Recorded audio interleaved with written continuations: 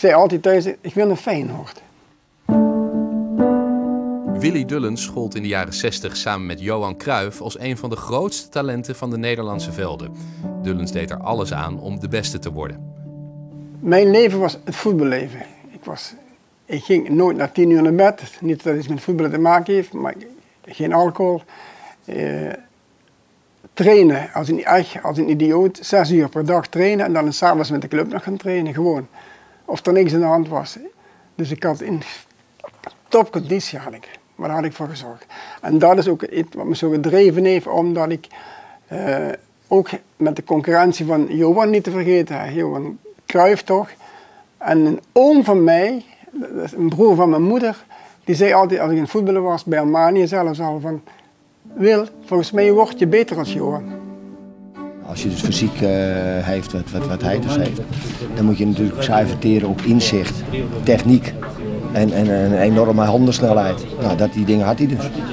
Daarom was hij ook zo goed. Weet je wat is? Ik gaf geen bal verkeerd. En als ik hem had, dan gebeurde altijd wel iets. En ik kon makkelijk een paar mannetjes passeren. En niet eentje, maar dan twee, drie achter elkaar. Dat de 21-jarige Willy Dullens geweldig kon voetballen, bleef niet onopgemerkt bij bondscoach George Kessler. Op 17 april 1966 maakte Dullens zijn Nederlands elftal debuut in de volgens hem prachtige Kuip. We hebben drie keer gescoord en die heb ik alle drie voorbereid. Was je gecharmeerd van, uh, van de belangstelling van Feyenoord? Ik heel erg. Ik wilde ook niet over andere clubs, ook toen Anderlecht eigenlijk toch een, begon te praten eigenlijk met, met uh, Citadia over uh, Willy Dullens voor Anderlecht. En ik zei altijd thuis, ik wil een Feyenoord.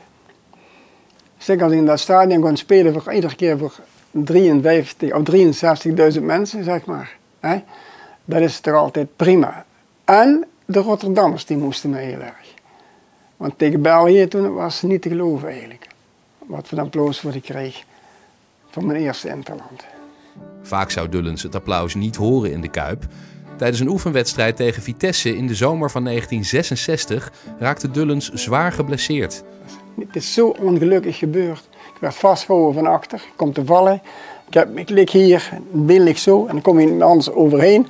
En die wil val hier op, op dat been en dat been dat gaat niet zo. Nee, dat been dat gaat zo die kant. En dit hier zo dik. Tijd voor niks.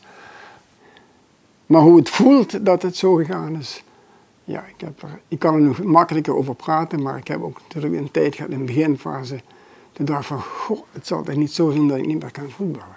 Het heeft wel traantjes gekost. Ik kon soms, nu nog, ik ben 78 jaar oud, of jong mag ik maar zeggen. Maar het is wel zo van dat ik dan het gevoel heb van, waarom is dat mij gebeurd? Ik heb niemand kwaad gedaan. Ik, heb geen enkel, ik maak nooit een overtreding. En uh, ik liet de mensen genieten en ik genoot er zelf ook van dat ik anderen zeg maar een beetje verschut zetten. Dat, want daar had ik wel een handje aan en tussen de beentjes doorspelen en achter en dan over hem heen. En alles, ik kon alles met de ding. Aan een jongensdroom kwam op 21-jarige leeftijd een einde. Een transfer naar Feyenoord zou er nooit komen. Hoe graag Dullens dat ook wilde. Feyenoord. Ik wilde per se bij Feyenoord spelen, omdat ik die jongens goed kende ook. Koentje gaat goed spelen, dacht ik. Als ik bij Koen naast Koen ga spelen, dan gaat Koen heel goed spelen. En dat was, is helaas niet gebeurd natuurlijk.